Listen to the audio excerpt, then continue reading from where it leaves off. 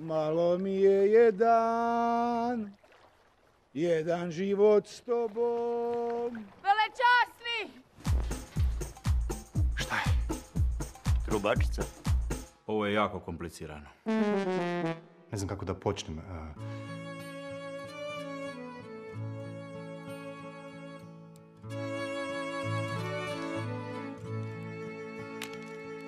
Bože, ja predajem se tebi,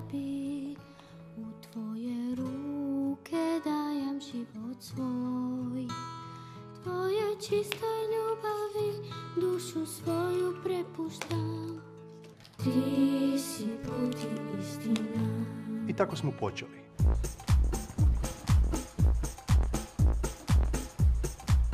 Kažu kad ga imaš, ko da ga nemaš. Toliko su tanki.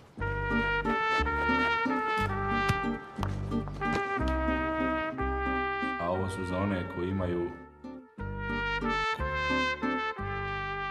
Penis veći od 25 cm.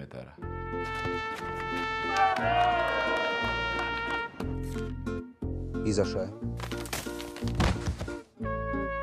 Ja prestajem to raditi. Zašto? Pojavile su se nus pojave. Uzimaš li Vesnu za svoju suprugu?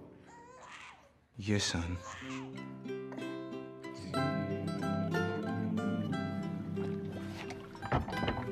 Dva sata su se tako susretali. Tri naša kondoma potrošili. A najčudnije je to što jedan vodi HDZ, a drugi SDP.